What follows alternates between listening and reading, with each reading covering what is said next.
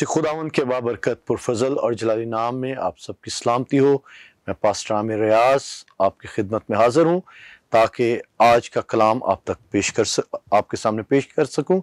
अजीज़ो, आज का जो पैगाम है, उसका हमारा टॉपिक रहेगा कॉन्सिक्वेंसेस ऑफ़ चॉइसेस आज इस दुनिया के अंदर रहते हुए हमारे सामने बहुत सी चॉइसेस हैं और शायद हम उन चॉइसेस के लिए स्ट्रगल कर रहे हैं लीगल अन इलीगल बहुत से हम ऐसे काम करते हैं जो खुदा के कलाम के बिल्कुल मुतरदफ हैं। और ख़ास तौर पर आज का ये पैगाम मेरी नौजवान नस्ल के लिए होगा जो शायद अपनी लाइफ के अंदर कहीं ना कहीं ऐसी चॉइसेस कर बैठते हैं जिसके बायस उनकी ज़िंदगी के अंदर नाकामी और फेलियर आ जाती है।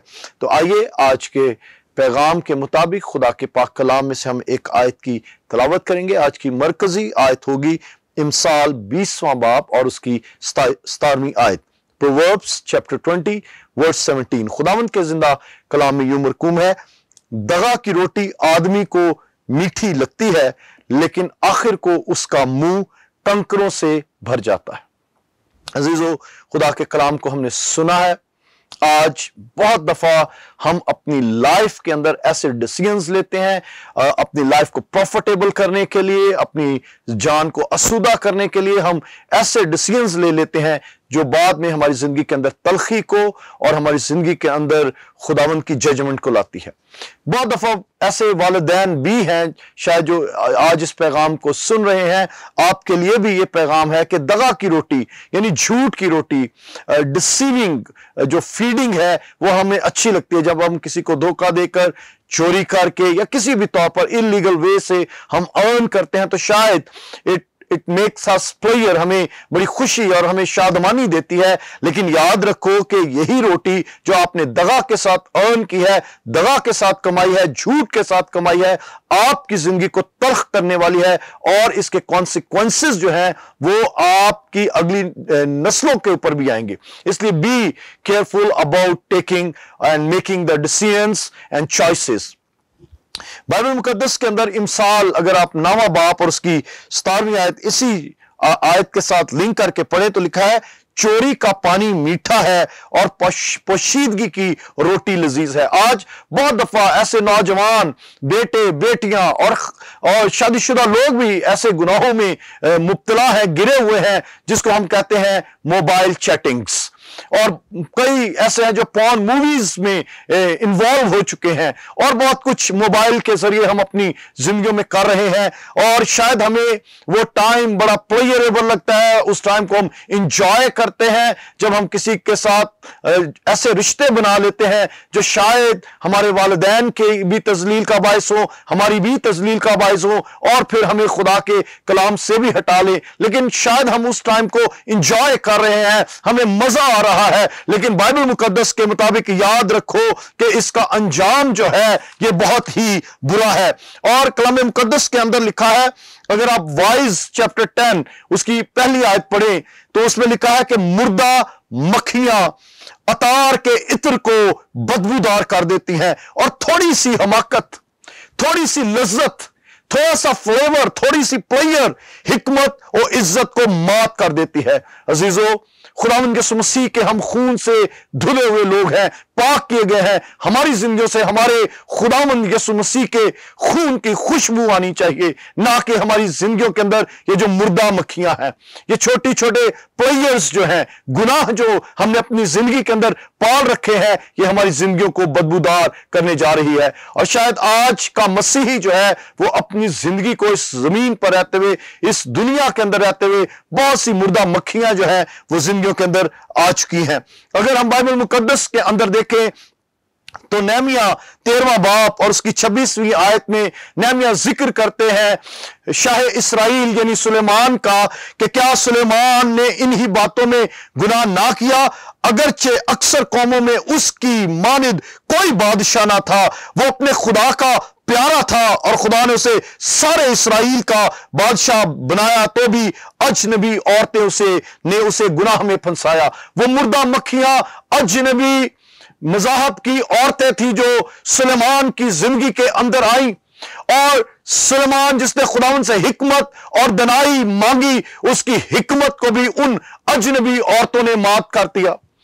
सलमान अपनी पैदाइश के दिन ही से जानता है कि यह खुदा की इबादत करना उसकी ज़िंदगी के अंदर बरकत को और फ्रूटफुलनेस को लाता है। लेकिन जैसे ही सलमान ने अजनबी औरतों को अपनी ज़िंदगी में अलाउ किया गैर मजाहब की औरतों को अपनी ज़िंदगी में अलाउ किया तो उसकी ज़िंदगी बदबूदार होना शुरू हो गई।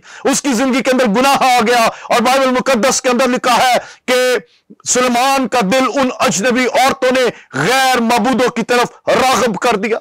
और सलमान बुतप्रस्ती करने लगा, उनके आगे बखूर जलाने लगा, उनकी इबादत करने लगा, उनके मंदिर बनवाना शुरू कर दिए। अजीजो, इसी तरह से अगर आपकी ज़िंदगी में कोई मुर्दा मक्खी आ गई तो वो आपकी भी हिकमत को और आपकी इज़्ज़त को मात कर देगी। बहुत दफ़ा हमारे नौजवान ऐसे डिसीज़न ले लेते हैं, जिस तरह सुलेमान गैर कौमों की तरफ़ गया और गुनाह में गिरा, इसी तरह बहुत दफ़ा नौजवान हमारे गुनाह में गिरते हैं गैर कौमों की तरफ़ रागब होकर और फिर अपनी ज़िंदगी में हमेशा दुख और मुसीबतें उठाते हैं। दगा की रोटी आदमी को अच्छी लगती है, लेकिन आखिर को उसका मुँह कंकरों से भर जाता है। हमने बाइबल की मरकजी आय देखी। अगर हम सलातीन की किताब में देखें तो जब अलिशा के पास नुमान कोड़ी आया, जो जिसको अलिशा ने शिफा दी और अलीशा के बताए हुए तरीके के मुताबिक नुमान कोड़ी ने शिफा पाई तो वो अपने ऊंटों पर बहुत सा सोना, चांदी और बहुत सा मालो असबाब लाद कर ले आया, ताकि वो खुदा के खादम की खिदमत करे, उसको प्रेजेंट दे और उसकी शुक्रगुजारी कर सके। लेकिन मर्द खुदा ना सोने से, ना चांदी से और ना चीज़ों से खरीदे जाते हैं। और अलीशा ने कहा कि मैंने तो मुफ़्त पाया है, मुफ़्त ही तुझे दिया है। और अलीशा ने नुमान के उस सारे हदिये को जो है, वो रिजेक्ट कर दिया, रद्द कर दिया। क्योंकि बाज़ात ये फ़िज़िकल चीज़ें हमारे ईमान को कमज़ोर करती हैं। लेकिन उसी जगह पर अलिशा का खादम हिजाजी मौजूद है, जिसके अंदर इन चीज़ों को देखकर ग्रीड आया है। उसके अंदर लालच भर गया है। वो गुनाह में गिर चुका है। और वो नुमान को जब लुटाया गया, अलीशा ने वापस भेजा तो हिजाजी उसके पीछे भागा। और उससे उसने कपड़े मांगे, उससे चीज़ें मांगी और खुदा ने ये सारी बातें अलिशा को बताई। और बाइबल मुकदस में लिखा है कि वो दगा की रोटी लेकर अपने खेमे में छुपा चुका है। आज बहुत से लोग दगा की रोटियाँ अपने खेमों में, अपने अकाउंट्स में, अपने तजोरियों में जमा कर रहे हैं। और अलीशा ने हजाजी का हाल सुन लो। जो दगा का माल जमा करते हो, सुनो। लिखा है कि अलीशा ने उससे कहा कि तूने ये क्यों किया? अब नुमान का कोर तुझ पर और तेरे खानदान पर रहेगा। नुमान तो अपने कोर से शिफा पा गया, लेकिन दगा की रोटी खाने के सबब से हिजाजी ने अपनी ज़िंदगी पर और अपने खानदान पर भी नुमान की लानत ले ली। अफसोस के आज शायद हम बतौर वालदेन अपने घरों के अंदर दगा की रोटियाँ जमा करते हैं, लेकिन उसके सबब से हमारे घरानों में खुशहाली आने की बजाय हमारे बच्चे बीमार, हमारी ज़िंदगी में गुर्बत, नाफरमानी और बेरा रवि आ चुकी है। अजीजो, अपने गुनाहों से बाज आओ। क्योंकि दगा की रोटी आदमी को अच्छी तो लगती है, लेकिन आखिर को मुँह कंकरों से भर जाता है। और अगर आप अपनी सराउंडिंग में भी देखें, आप इस बात को तजुर्बा करें, जो लोग लूट, सूट करते हैं, गुनाह करते हैं इवन के बहुत से इलीगल काम कर रहे हैं अगर आप देखें तो उनके घरों के अंदर आपको लानते और बदरूहें नज़र आएँगी। बीमारियों की बदरूहें हैं, नाफरमानी की बदरूहें हैं। आज नौजवान नस्ल उनकी नाकाम पड़ी है और कई ड्रग्स के अंदर चले गए हैं। बेटियाँ बेरा रवि का शिकार हैं। सिर्फ़ इसलिए कि वालदेन ने अपने बच्चों को दवा की रोटी खिलाई है। और अगर हम बाइबल मुकदस के अंदर यशवा सातवां चैप्टर आप पढ़िएगा, वहाँ पर भी एक शख्स का ज़िक्र है जिसका नाम है अकन। एक बड़ी फतह के बाद कौम बनी इसराइल ने जब यरू की दीवारें गिरा दी और खुदा ने एक बड़ी कामयाबी, कौम बनी इसराइल को दी तो अक्कन ने भी बहुत सा माल अपने खेमे में जमा कर लिया। और चोरी का माल अपने खेमे में रखने के सबब से खुदा की जजमेंट अक्कन पर और उसके खानदान पर और कौम बनी इसराइल पर भी आई।